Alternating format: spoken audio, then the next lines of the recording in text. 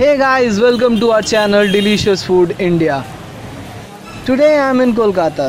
यहाँ पर एक फ़ेमस रेस्टोरेंट है Nizam's the inventor of kathi kebab rolls इस रेस्टोरेंट में सुबह से शाम तक बहुत भीड़ रहती है और ये यहाँ के फ़ेमस न्यू मार्केट में है और ये रेस्टोरेंट यहाँ पे 1932 से है this is one of the oldest restaurant in India for kathi kebab rolls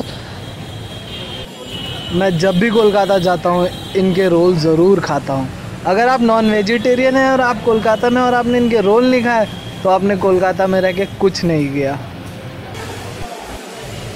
With juicy roasted kebab fillings delicately wrapped in tender and layer parathas the kathi roll is among the heartiest and the most satisfying of street foods a lot favourite around the world today this delicious snack was first conceived less than a century ago at a humble Mughlai food eatery outside of Kolkata's famous new market.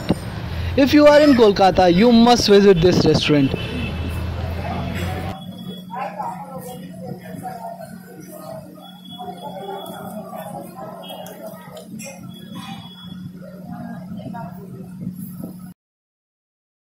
Tasty food है you must try this in Kolkata जब भी कोलकाता आइए यहाँ ज़रूर आइए thank you for watching this video अगर आपको ये वीडियो पसंद आया तो इसको लाइक करें शेयर करें और हमारे चैनल को सब्सक्राइब करें।